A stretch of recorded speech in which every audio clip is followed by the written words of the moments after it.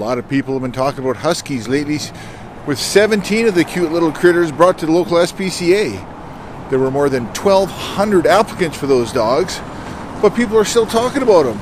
The question is is a Husky right for you? So obviously huskies are an awesome dog. They bond very very deeply with their owners. They're basically the cats of the dog breeds. Uh, huskies tend to be very independent. They tend to go off and do their own thing and come to you and seek attention when they want to. Um, but they do also have some unique traits about them that is not for every average Joe. Um, so, probably one of the most important things to note about the types of huskies is that they are creative escape artists. it can be very difficult to contain a husky.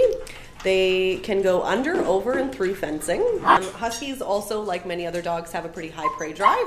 So it's very important to teach huskies at a young age to be socialized with dogs, cats especially. Um, you know, keep them if you have chickens or ducks or any sort of poultry on your property. It's good to socialize them at a young age with that, and then also be cautious if you have neighbors with that sort of thing that your huskies don't jump the fence and get into their coops or anything like that. Um, also, they are extremely high energy dogs.